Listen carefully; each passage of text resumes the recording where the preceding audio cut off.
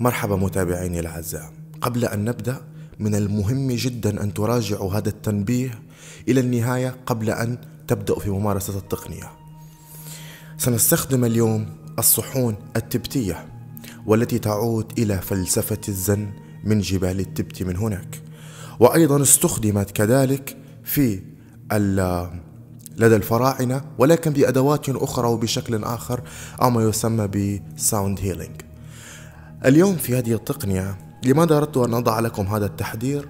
لأن هذه التقنية قوية جدا وقد تستخدم في العلاجات والتي أحيانا أثناء لعبي بهذه الأدوات والصحون وأنتم تستمعون إليها ربما تشعر بألم في جزء ما في جسدك أو ربما تكون لديك إصابة في كتفك أو ربما قمت بعملية على ركبتك أو على أي مكان أثناء استماعك إلى الصحون التبتية توقع شعور الألم في المكان الذي تعاني منه في الألم وذاك الشعور الذي ستشعره هو ليس نتيجة زيادة الألم وإنما عملية استشفاء ذاتي للمكان الذي فيه الألم.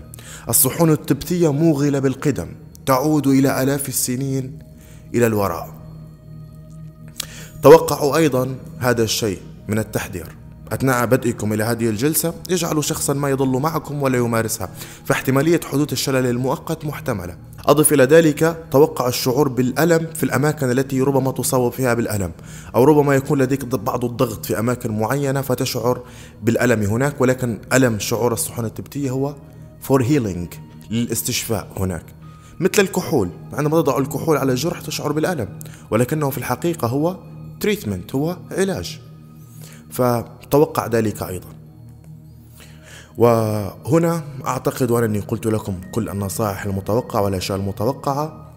أضف إلى ذلك يمكنك أن تضع سترة خفيفة جدا أو أي غطاء خفيف تضعه على كتفك وتجلس في مكان دافئ في هذا فصل الشتاء البارد.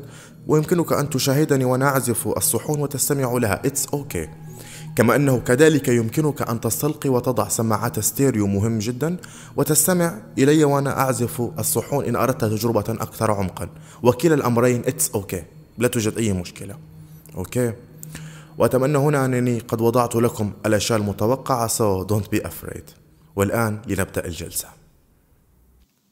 استرخي كليا ولا تحرك جسدك أبدا أبدا حتى انتهاء هذا التسجيل.